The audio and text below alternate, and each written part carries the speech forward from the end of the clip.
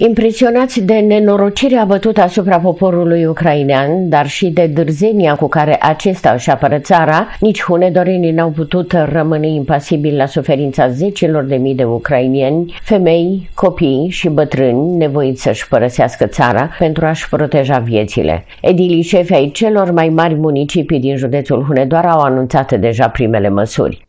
Primăria municipiului Deva a identificat un număr total de 8037 de locuri de cazare în cadrul unităților publice și private de pe raza municipiului Deva, dintre care 1561 sunt ocupabile imediat, fiind prevăzute cu paturi. Mai mult, primăria municipiului Deva este pregătită la nevoie să aloce resurse financiare și umane necesare asigurării asistenței medicale, transportului și oferirii unor condiții decente pe perioada în care refugiații se află pe raza municipiului Deva, a declarat primarul Florin Oancea.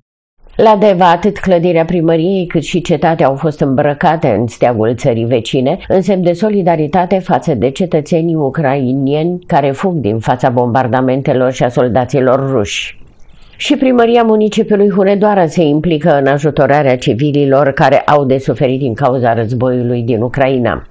S-a inițiat o cooperare cu autoritățile locale din orașul de frontieră Sighetul Marmației și Consulatul României din Slatina, Ucraina. Cu ajutorul acestora vom încerca să identificăm cât mai bine nevoile urgente ale civililor ucrainieni afectați de război. Demersul vine și pe fondul la numeroase apeluri făcute de hunedorenii care doresc să ajute. Din informațiile comunicate până acum de către autoritățile locale din Sighet, deocamdată e nevoie de pături, saltele tip uh, izopren și saci de dormit, de preferat noi sau în stare foarte bună, a anunțat și primarul Dan Bobouțeanu pe rețelele de socializare. La primăria Hunedoara va fi convocată o celulă de criză, iar în urma întrunirii se vor comunica modalitățile exacte prin care hunedorenii dorni să ajute o pot face.